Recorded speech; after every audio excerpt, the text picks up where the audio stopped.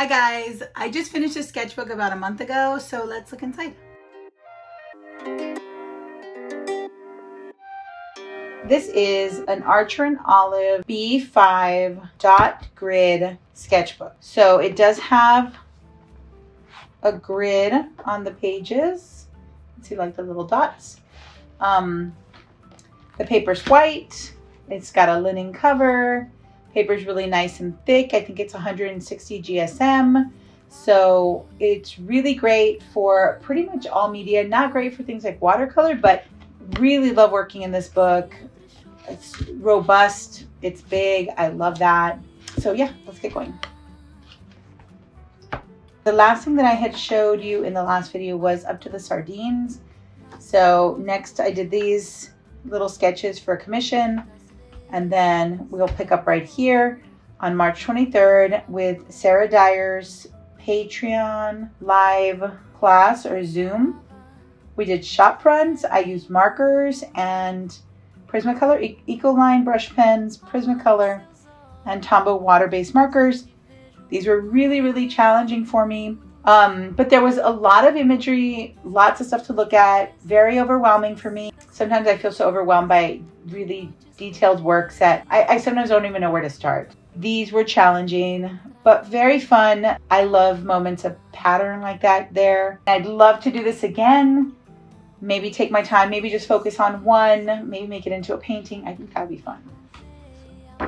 This was for one of the exercises for my Patreon.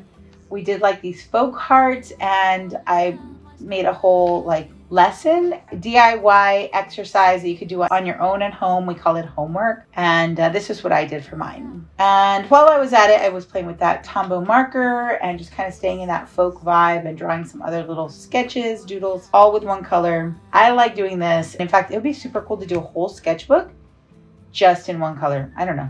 This was actually for a drawing video for my patrons and the the assignment, so to speak, was collections, like come up with a collection of things and draw them.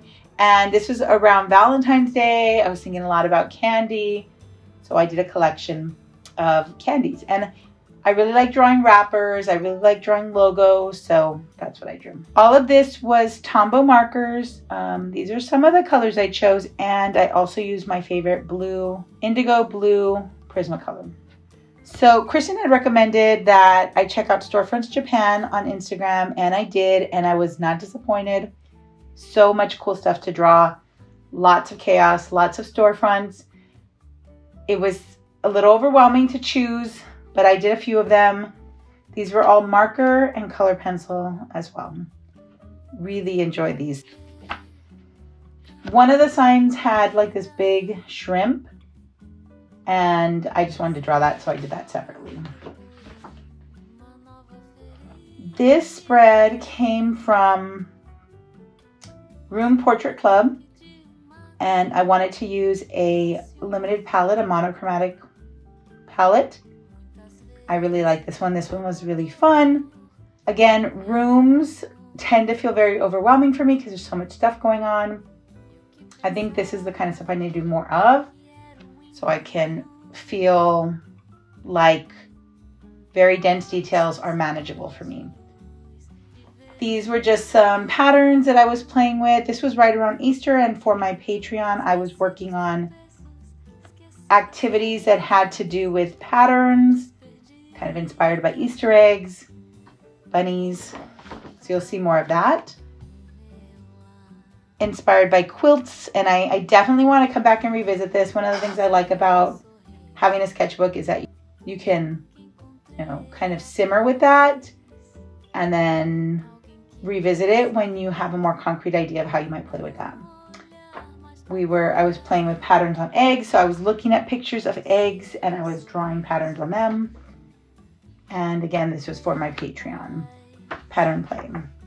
Pattern play exercise. We just drew patterns. There's a whole homework activity for this one. And then for the video, this was so much fun to do. For my monthly patron video, we were doing, I was doing gesture bunnies. So gesture drawing, but using bunnies. So I did this one first as practice. Then I did some other drawings for, honestly, I can't really remember why I did this, but this, but I did a whole spread of this and this one was really fun to draw too. And then this was the gesture bunnies that I did for the video. And I had several reference pictures and tried drawing these just as big, like wonky shapes. And then I used my pencil to develop some of the details. Super fun. If you haven't seen my gesture bunnies video, you should watch it because it's it was this was a really fun drawing exercise and I recommend you try it. Then I got some new pencils and pens and I think this appeared in one of my other videos on my art supply haul. So I just tested all of these out, which you can watch that video. I'll link that as well. This was from a Katie Moody live stream on her Patreon. She had some images and we just drew in time sessions. Really fun to do this. And if you if you don't normally draw with time sessions, I highly recommend you try this. Find some images, time yourself and stop when the timer goes off. Just really valuable. It helps to target the most important things, record them as fast as possible. And one of the benefits of that is that I'm not laboring over decision making. I'm not having decision fatigue at this in this type of drawing. This one, I don't really remember if there was any sort of plan or reasoning for this. I just was doodling in my book. I think I started with this one. I don't know if we had, a, oh, we had a prompt for my Patreon and it was bulbs. So we could draw like flowers that were in bulbs. And then other things just kind of appeared.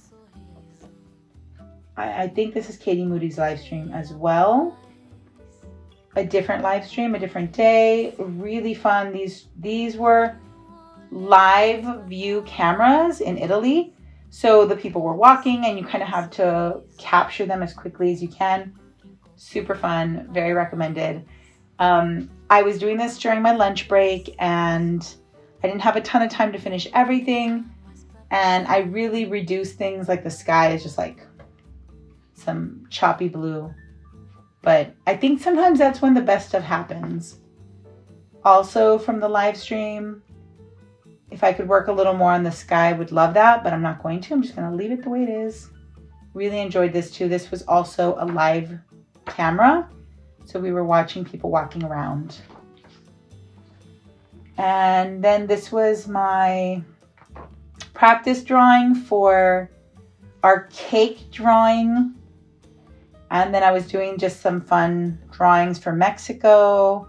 I used Google Maps to find a, a random pin and I drew the street views there. And I don't know why I drew Lucy. I feel like this might have been for a purpose, but I just was drawing. This is my dog Lucy. It's a portrait of my dog. And um, definitely a little bit more rendered and detailed than I usually do. So I like it. And then these were practice pages for my cakes um, workshop drawing that we were going to do. We just got together on the live and I think it was, or it was a live stream. And I had pictures and we had time sessions and we drew. I don't think I usually, I don't put the live streams up on YouTube or the workshops. Those are only available to my patrons, but um, some of these are also videos that my patrons get first access to and then they become public. Um, these were Mexico drawings and we were going to do a live stream or I can't remember or one of the um, meetings, a Zoom meeting to draw. Um, this was for a possible commission that I didn't get, so okay here was our drawing session. These were so much fun. Just the palette, the colors, I love. Um, very much inspired by Wayne Thiebaud. And also this was um, in the month of Easter. And I was just thinking of like candy and sugar and sweet and pinks and just everything kind of like Easter inspired. So we drew cakes and these were so much fun. I really enjoyed this. I think the my patrons did so great with these. The results that I saw were beautiful. And this was also from the same session. I did a lot of marker drawing, but then I also did a gouache painting. So I really like this one. And then following that, this was from, I think I was just drawing at home, but I was, I had been wanting to go to the botanical garden, hadn't gone, couldn't make it, kept putting it off. And so I just kind of pulled some images that I already had from the San Antonio Botanical Garden. And I made these little panels. These are, I think these are all gouache. All of these are gouache and color pencil. So these were really fun. And this one, I believe this is the one I ended up using for that month's postcard print. And then this was a sticker. Really love those. We were studying Mexico during this time in my Patreon and I was drawing the flora and fauna of Mexico. And I was really trying to use a limited color palette for this. So that's why the colors look so strange. But I enjoyed this. It was fun. It was fun to use colors that are really like unusual. Like I don't use a lot of red, I don't think. This was inspired by one of Frida Kahlo's still life paintings. I just felt like drawing it at one point and I used markers and color pencils to do it. It's a little chaotic. This was from an exercise in my classroom. We were doing, we were studying pop art and I really wanted to encourage students to think about the symbolism and meaning of everyday objects in their world. So we created these really vibrant paintings of things that had meaning to us. And this was my example. Now, my class, we always do brainstorms, thumbnails, media studies, and then real deals. So this was my media study. It was a small version of the painting and then we did a big painting. And I was drawing cactus. That was one of our themes for that month of May for our pract for our weekly prompts. I think cactus was on there, so I was just I was trying to capture this light that I had seen in an image on the sides of the cactus, and that was hard. Then this was gouache, and I did this one inspired by the theme that we had, which was deserts. And most of this is gouache painting, and then some of it is color pencil. This one was really fun. I really like all of these. And I was practicing doing some, um, what are they called? Like some Mexican tile patterns. I was just looking at some reference images and trying to draw them or paint. I think they're painted. Painted. That's gouache one of my videos that I made for my patrons was about color theory and how I choose my colors. So I made a couple of color wheels and then I have this image, which is actually over here that I got from Unsplash. And um, I tried to draw that one using a different color scheme. I tried to find some colors that were not the colors in the image, not local colors, but I did want to explain how I got there. And I think this video is on my channel. You should check it out if you if you want to know more about that. And then I did it again because this one was not it. And so I did it again. This one was eh, a little bit better.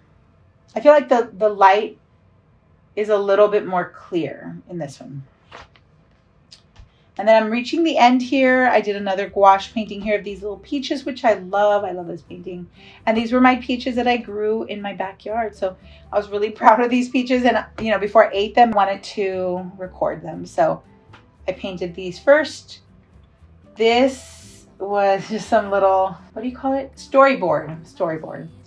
And then here was the end. So for the end, I did a portrait of this great branch, which was fun to draw because I kept thinking like, I wonder if this is just going to look like lines or what's going to make it look like a great branch. And it was these little blobs of green on the edges that really, you know, made that more clear. So this was the end. This was all, I want to say this was gouache, artist gouache, and all of this is artist gouache. And then there's some color pencil, but this was my final painting of this book. And that's the end. I have a couple of things in here that I already forgot about, some sticker sheets. And this book ended on May 17th. I hope you enjoyed this sketchbook tour. I hope it's inspired you to try something in your sketchbook. Until next time, happy drawing. The end.